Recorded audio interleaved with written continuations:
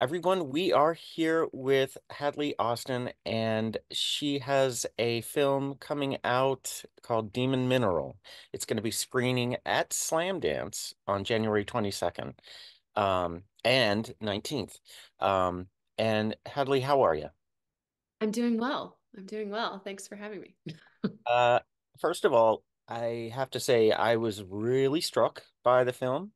I Thank thought you. it was a wonderfully done documentary, um, and actually did what documentaries are supposed to do, which is actually just teach you, show you, um, and expose you to something that you may not know about, or, you know. So thank you for that. It was really good. But um, can you do me a favor and just explain what Demon Mineral is? Sure. Um, so Demon Mineral is a documentary about the legacy of uranium mining on the Navajo Nation. And that's it in its shortest version. Um, and I guess in a slightly longer version, it is um, an introduction to the land itself and also an introduction to um, a handful, it's of course not even all of them, just a few of the activists who are dedicating their, lives to creating vital living space in the face of contamination. You know, there there's there are so many things going on here, and there's so many questions. Um, but basically, to set it up, uh, colonialism jumped into the Navajos' uh, land, tapped into something that was there for, you know, the benefit of the country, and then left not cleaning up the mess. So this is the issue that that it, the Navajo Nation is facing. Mhm. Um, and Yeah, there are over 500 unremediated uranium mines on the Navajo Nation. And I think it's also important to note that Demon Mineral only focuses on the Navajo Nation. Um, but there are unremediated uranium mines by, you know, the the many hundreds, you know, into the thousands up the Rockies and also around the world. Mhm. So um, the scope of the problem certainly doesn't begin and end on the Navajo Nation. That's just where this film hangs out. right, and it just it just shows one facet, one one group being affected by a much larger problem. Um, so how did you come to tell this story? Um, I lived for a very long time in a border town to the Navajo Nation. Um, the people who are in the film are friends and friends of friends. You know, our translator is my ex-boyfriend's mom. um, it's um, you know, it's it's in, I think of it as a family affair, you know, if you expand the concept of family to, you know, those who are who are close to you in your life's journey. Um, and uh, it's a it's an issue that I've been uh, tapped into, sometimes actively working in, um, other times not uh, for 20 years. And I make that distinction because I think it's really important to note that like the the people who are in the film, this is their life's work. This is where they live. Um, this is what they do every day. This is where they were born. Um, you know, this is the land that that is um, you know, sacred to them. And so my relationship to it is, of course, like more distant than theirs. Um, but it's still a place that is very, very important to me. Um, I feel that I owe that community and that place a lot in terms of my own personal, um, you know, evolution as a person. And uh, I'm really glad that all of us got to make this film together. And I'm really glad that um, people can can look at the work these people are doing and understand their situation, but also um, appreciate their efforts. Yeah, most definitely. And I think what um I think what really blew me away about the documentary was really driving home the point why they can't leave. Yeah, I, I mean, there's like there's like practical considerations that are part of the answer to that question, and then there are like uh, psychic, cultural, and spiritual elements. You know, some of the some of the practical elements, uh, you know, are of course related to poverty, um, access to resources, um, we all know that moving is expensive. We all know that that that moving is challenging, practically challenging. Oh yeah. Um, and you know, uh, these are these are a, a large portion of the Navajo Nation does not even have running water. So when you think about the resources necessary to transport your life to relocate, um, think about that as a starting point, right? Um, and then and then there are the the the psychic, cultural, spiritual components. You know, I think that it's uh, I think that many people uh, don't carry with the they they view land as um, something to make profit off of, something to look at. They don't necessarily view land as essential to their being.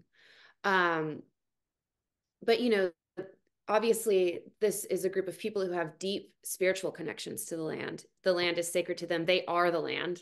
Mm-hmm. Um, and to leave it is is to leave themselves right? It's right. it's it's a tremendous and like psychically impossible thing to do. And we tried to capture that in the film. It's it's really hard to capture because it is for some people very unfamiliar. And a film is only you know the film's 88 minutes long. It can only do so much. But i think that the part that captures it best for me, or at least, of course, because I chose to include it in the film, is when our narrator, my friend Emma, is talking about how, you know, even if she, even if the signs noting con- radioactive contamination were up when she was a girl, because she grew up in a contaminated area. Mm-hmm. Um, in fact, what we're learning increasingly is like one of the most contaminated areas in the Navajo Nation. Um, but even even if those signs had been there, she didn't know if it would make much difference because um, it is it is who she is, and her umbil- her umbilical cord is buried out there. Yeah, her daughter's umbilical cord is buried out there. Yeah. Um, her dad's umbilical cord is buried out there. Um, and and it, and it almost wouldn't matter. It wouldn't matter because the land is so important, essential, essential to who she is as a person. Uh, another thing that really struck me about the film was uh, the cinematography. Um, why did you choose a range of looks? Um, and why did you specifically use black and white in particular scenes?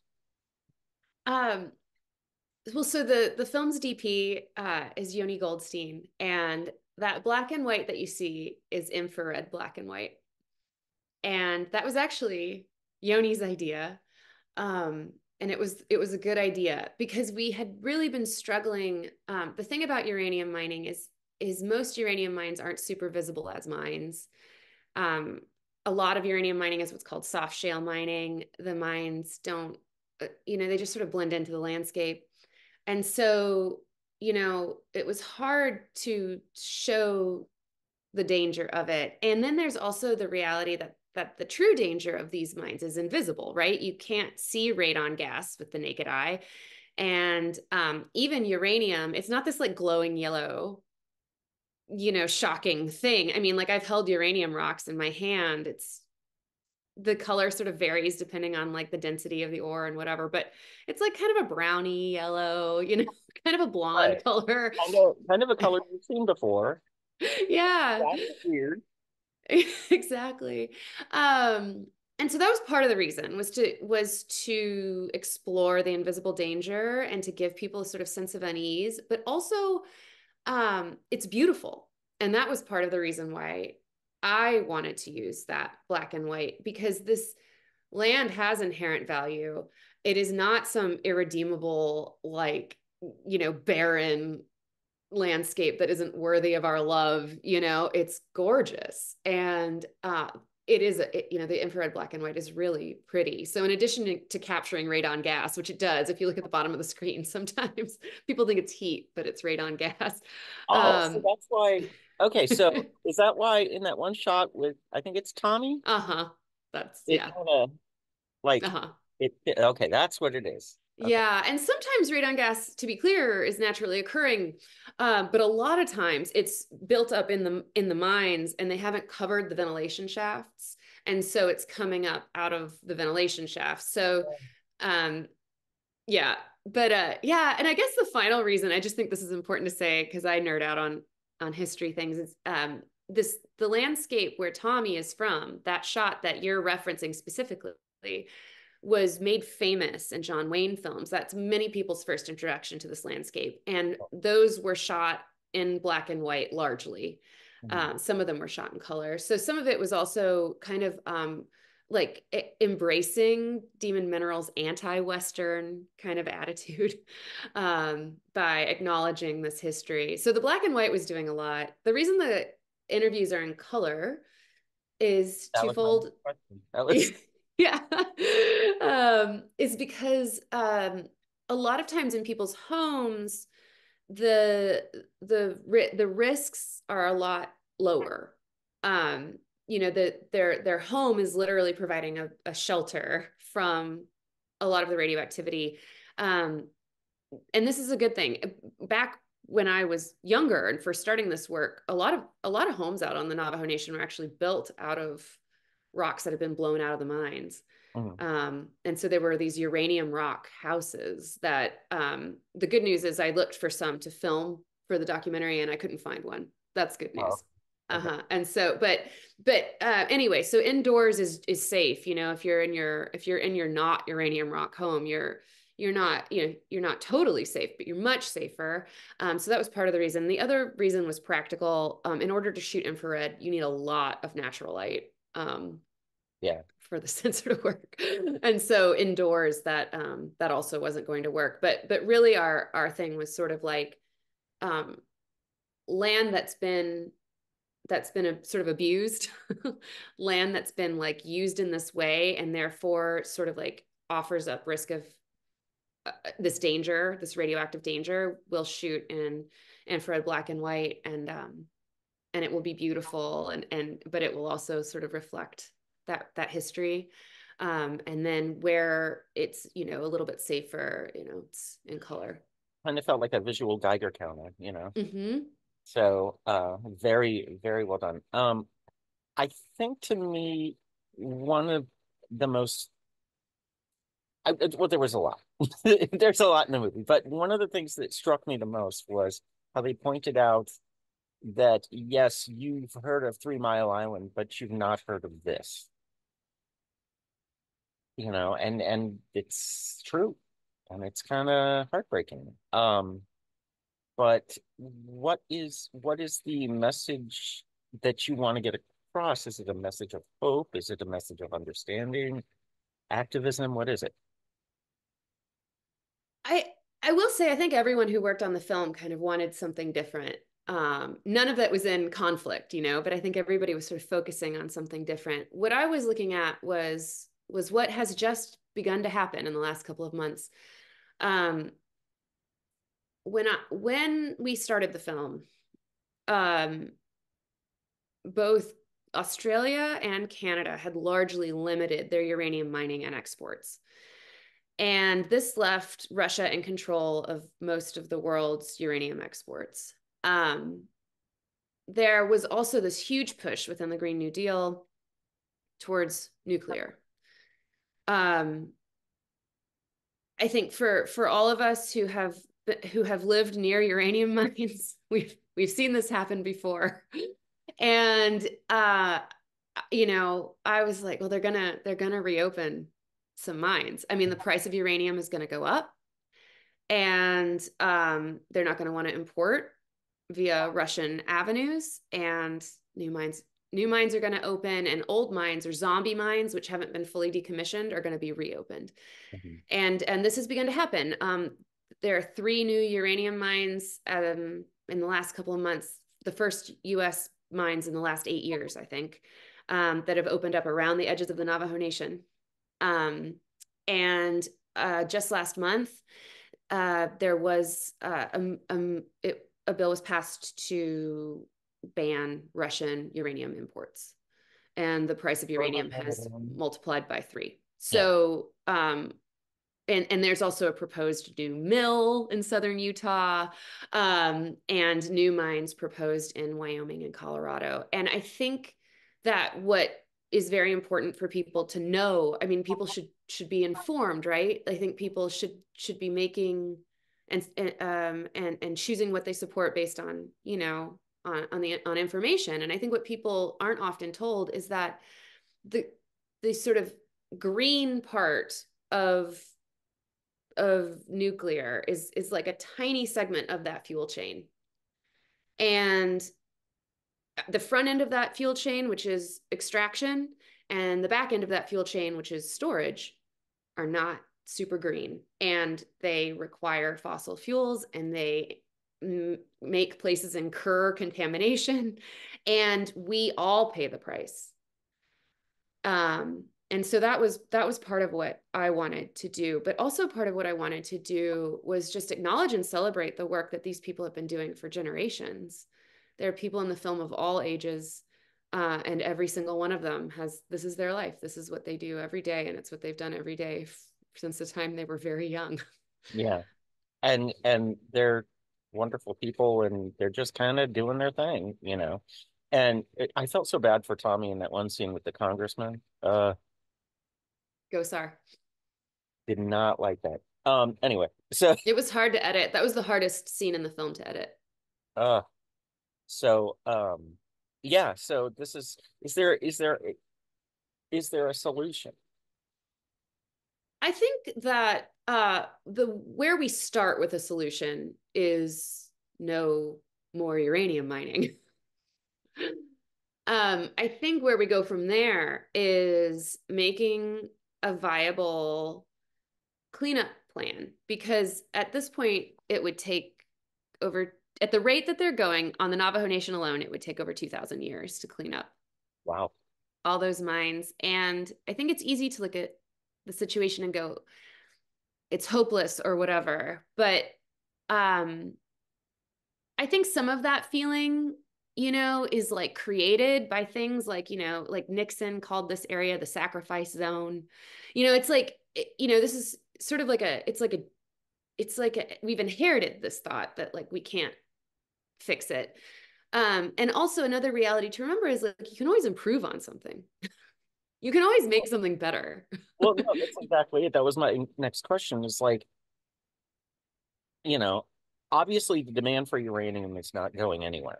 It's not going to, you know, how how do you make it work? How do you is there a way to make it work, or is the answer just to stop well, this is like like a like a huge question, right? About it's like it's got a collective answer.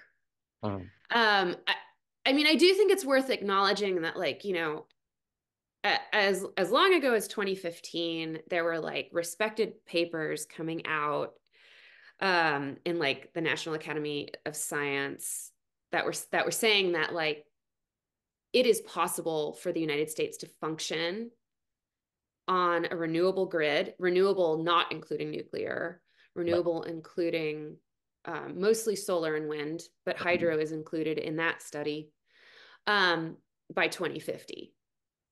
Uh, these these non-nuclear renewables have gotten a lot more efficient in the last 20 30 years we are not talking about 1960 right mm-hmm. um like we're no longer in a situation where nuclear needs to be leaned on and so the it's it's coming from a place of finances it's coming from a place of money well yeah that's that's all it is that's right all. and so it's yeah it's not coming from a place of actual need. And so right that the solution is that we collectively insist uh-huh. on on better. And i think it happens probably in a lot of small ways. You know i think it's like local communities rejecting a mill or local communities rejecting a reactor or local communities insisting that something you know close you know uh, like i think it also you know obviously like how we vote isn't nothing um the things that we say are important matter at least to the degree they matter I, I mean and so i think that that's that's the thing is to just not give in to nihilism, which is really hard. it's so easy. Um, so I guess my last question would be who who is it that you want to be seeing this film? Who's your target? obviously I want everyone to see the film. Um, but I think that I think that um, people who are sort of public policy nerds, you know, I want them to see the film. Um, I want um, I want people who have never been to the Navajo Nation, don't even know what it is. I want them to see the film. You know, I want people who don't have any tie or connection um, to this place that I love to like learn to love it as much as I do, you know. Mm-hmm. Um, and I also, you know, I want the folks on the Navajo Nation to see it. Um, that's very important to me. You know, we're doing our best to bring it there too. Um, I want lawmakers to see it. I've invited as many people to the screenings as I can, as many of these decision makers as I can. Um, yeah. Excellent. Well, are you gonna are you gonna be on the ground at Slamdance? I will. I'll be at Slam Dance. So will I. Yeah. So oh, I great! Yeah, to be able to say hello to you in person, and me too. Um, yeah, everyone. I know we got kind of you know deep into the discussion, but that's kind of the point of the movie. Uh, Demon Mineral and uh, Hadley Austin, writer director of this documentary. Um, thank you so much for creating something that is provocative and and and instigates conversation. Thank you so much. Um, yeah, it's such a big deal to me when people even watch it. no, it, it was it was very well done, very well done. Um, and everybody check it out at Slamdance, January nineteenth and uh, January twenty second. And if you're not in town, get it online. You can you can look at Slamdance online. So uh, again, thank you so much, Hadley. And Thank I can't wait to uh, see you in Park City. Same. All right. Bye. All right.